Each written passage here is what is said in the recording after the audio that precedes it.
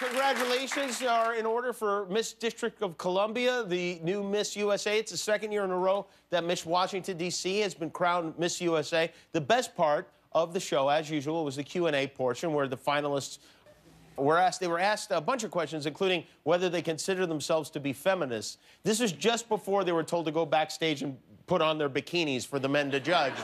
But, you know, not everyone uh, can answer. And, you know, everybody likes to make fun of the answers the Miss USA contestants give.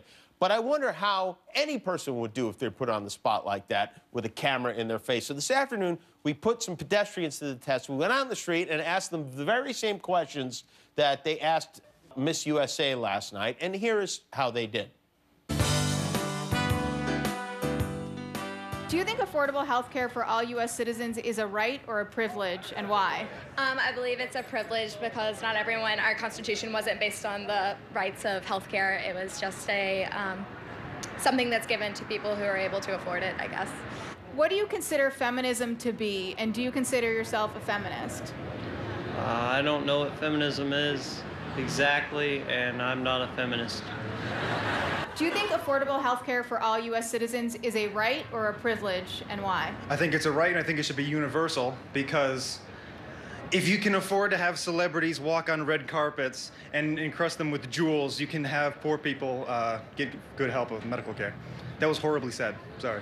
How would you like the global community to view the United States? Like all together, everyone, individ like equal.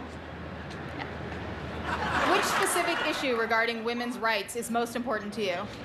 Well, well, I had a few bad dates. So you women and men, we need to come together, okay? So everybody should get the same amount of rights.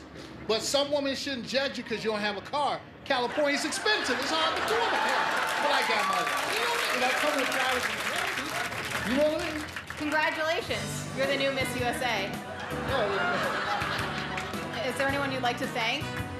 All right, let me see. How can I do this? Oh, Miss USA. Well, nah. Um, who can I thank for Miss USA? Um, my prison mate, Leroy Davis. I mean, he was 6'2", six, um, 250, and he wore a lot of makeup. So if Dennis Rodman can do this, I can do it too. Do you think he's watching right now? Well, he had two life terms. I mean, he burned down the building.